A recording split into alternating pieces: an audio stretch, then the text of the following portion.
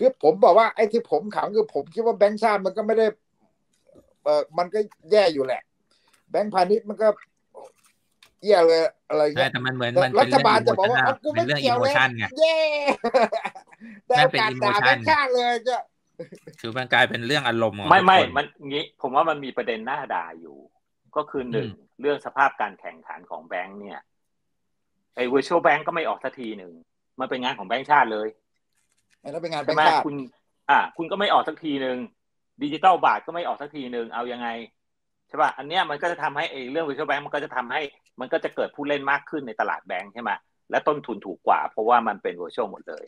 ถ้ามันเป็น เออก็ก็ไม่ออกสักทีหนึ่งซึ่งจะทำให้อัตราส่วนหวังว่านะ ถ้ามันไม่หัวกันเนี่ย ก็อัตราส่วนระหว่างดอกฝากกับดอกกู้ มันก็จะลดลงใช่ปะอันนั้นก็ส่วนหนึ่ง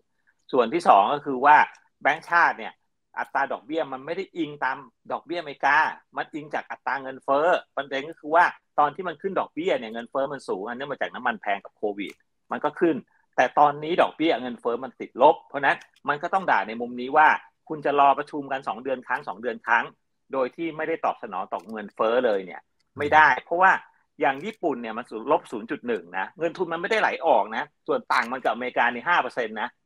เงินทุนนมันี้ไม่ได้ไหลออก อันนี้ผมเข้าใจชูวัฒน์ประเด็นคือว่า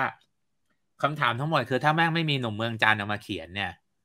รัฐบาลแม่งจะมีวอร์นิ่งให้กับแบงค์ชาติผมคือแบบเฮ้ย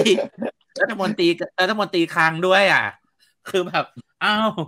คือสรุปไม่ตั้งรู้หนุ่มเมืองจันทร์ไหมเจโยเกมนี้เกมนี้อะโค้ดไม่รู้โค้ดเขา